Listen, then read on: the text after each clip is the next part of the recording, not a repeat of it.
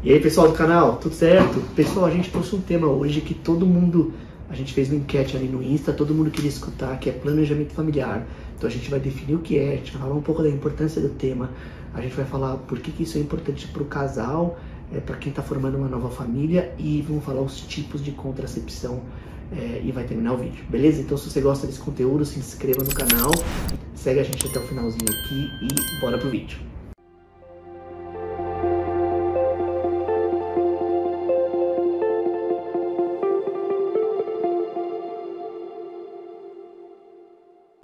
Pessoal, o que é planejamento familiar? Basicamente, ela é uma parte da nossa vida é, que você discute com o seu médico, principalmente com o ginecologista, que onde você vai constituir família. Então, basicamente, a gente define nossa vida em duas principais. A primeira é quando você é, quer evitar gravidez a qualquer custo, essa é a fase número um, onde você tem ali todo o desenvolvimento profissional, você procura carreira, pós-graduação, uma série de coisas que você vai ter que cumprir ali, o que você pôs para você para cumprir, principalmente para realização pessoal e financeira. Você tem uma segunda etapa da sua vida onde você quer ou não ter filhos, você escolhe ou não ter filhos. E se a sua escolha for ter filhos, você também vai escolher junto com seu parceiro ou parceira a quantidade de filhos que você quer ter, beleza? Então essas são as duas fases principais.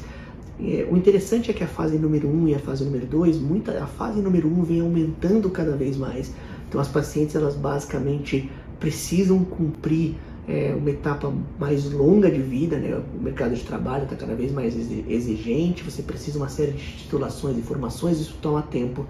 Então faz parte ali da maternidade tardia, um pouco da fase 1 sendo estendida. Então imagina que a mulher tem que fazer faculdade, ela tem que fazer a pós-graduação dela, doutorado, o que seja. Depois ela tem que achar alguém para casar, ela tem que casar, é, tem que ter uma casa suficientemente grande financeiramente para constituir tudo isso e aí depois pensar em filho. Então você vê que a primeira fase realmente é uma primeira fase que é, socialmente não é tão simples de cumprir é, e a segunda fase é basicamente quando você pensa em ter filhos. O que a gente sabe é que a segunda fase a gente está encurtando cada vez mais o tempo que a paciente tem para conseguir a gestação é, e a gravidez, e isso faz com que a paciente ganhe uma ansiedade, tenha uma ansiedade muito grande é, quando isso não acontece. Então, isso também faz parte do planejamento familiar, beleza? Então, o que é o planejamento familiar? É basicamente é, planejar a família junto com o médico para você saber exatamente quando acontece cada coisa, passando por duas coisas principais. A primeira, a contracepção, é, que é evitar os filhos, e a segunda, que é mais voltada para a reprodução humana, gravidez espontânea, o que fazer, o que não fazer, pensando em quantos filhos e quando a gente vai querer ter, beleza? Então eu vou dividir esse vídeo em duas partes. A gente vai falar da primeira, é quando e até quanto evitar, e a segunda é o que, vai acontecer quando a gente quiser ter filho, beleza? Bom, essa é a definição. Essas são as fases da vida.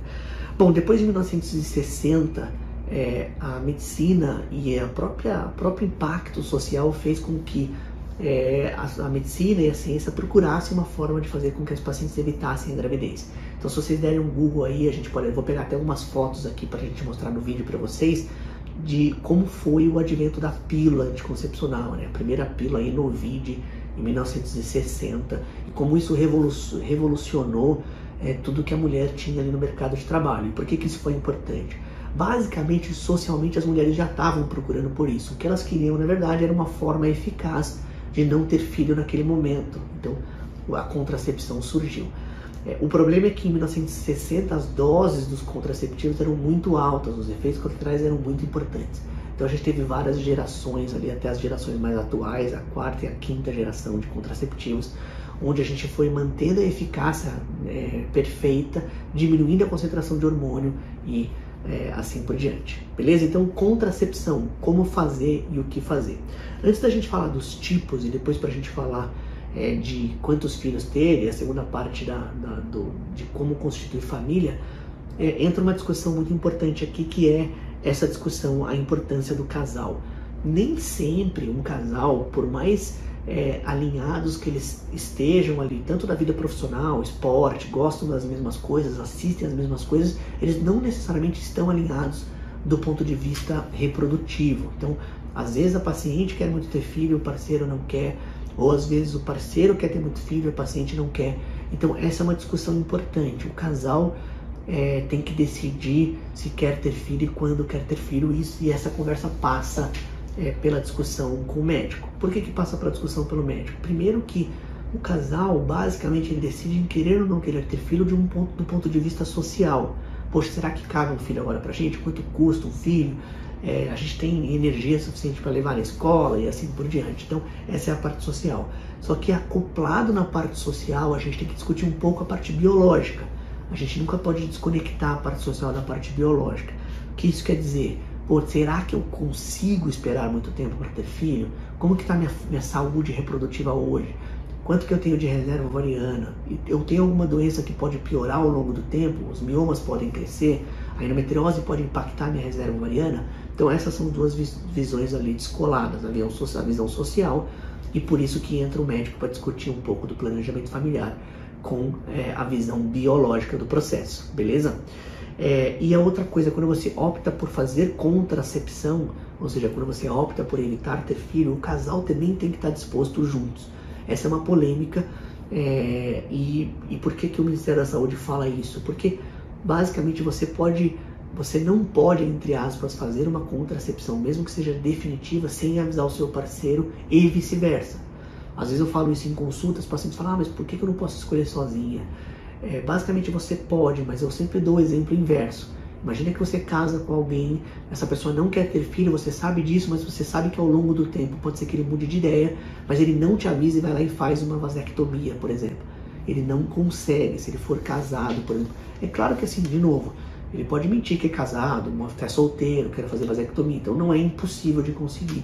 Mas basicamente, mesmo que ele faça uma vasectomia, ele tem que avisar a parceira e vice-versa. A parceira também não consegue fazer uma laqueadura, por exemplo, sem avisar o parceiro. Então, isso é a importância do casal estar tá bem alinhado em não queremos mesmo, está tudo bem, vamos fazer uma contracepção não hormonal definitiva, por exemplo, cirúrgica, é, e tudo bem, tá tudo certo com o casal, vamos, vamos em frente. Ou não, um do casal quer, outro não. Então, quando tem algum tipo de discrepância, o médico precisa entrar. E esse tema ganhou muita importância também quando a gente fala de DIL. O DIL também é uma coisa que o parceiro, teoricamente, precisa ali aceitar e precisa estar tá alinhado com a parceira. Essa é a importância. De novo, eu não vejo nenhuma, nenhuma discussão aqui é, se pode ou não pode fazer, é, porque basicamente você pode, né, o, o direito está aí, mas o parceiro precisa, é, no mínimo, conhecer ali a sua vontade e estar tá disposto a falar, ok, eu não concordo, mas faz e está tudo certo, pelo menos ele sabe. E de novo, vice-versa, né? tanto para o homem quanto para a mulher. A grande diferença do homem na contracepção no planejamento familiar é que o homem não tem tanta opção, principalmente hormonal. Né?